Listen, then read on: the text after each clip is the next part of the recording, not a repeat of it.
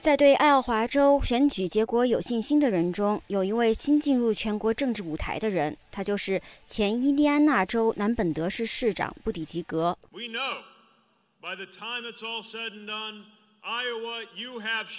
我们知道，当一切尘埃落定，爱奥华州你震惊了全国，因为所有的迹象都显示，我们将带着胜利前往新罕布什尔州。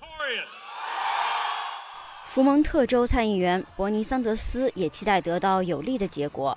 他四年前在爱奥华州以微弱差距输给了希拉里·克林顿。今天标志着特朗普结束的开始，所有这些仇恨，所有这些分裂将结束。团结起来，我们挺进白宫。前副总统乔·拜登经常被视为在全国领先，他已经在展望下周的新罕布什尔州初选。我们将带着我们赢得的代表的支持离开这里，我们还不知道到底有多少，但我们感觉现在的状况很好，向新罕布什尔进发。另一位在寻找在新罕布什尔州领先势头的参选人是马萨诸塞州参议员伊丽莎白·沃伦。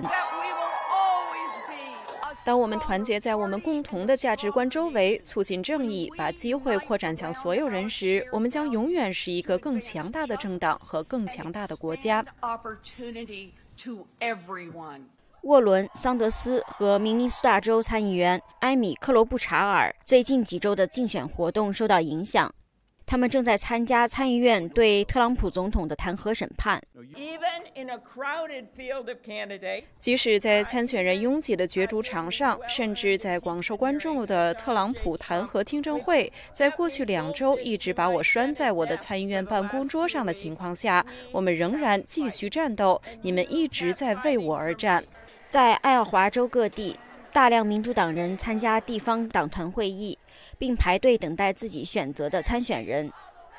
现在，参选人将前往新罕布什尔州参加下周二的初选。美国之音马龙华盛顿报道。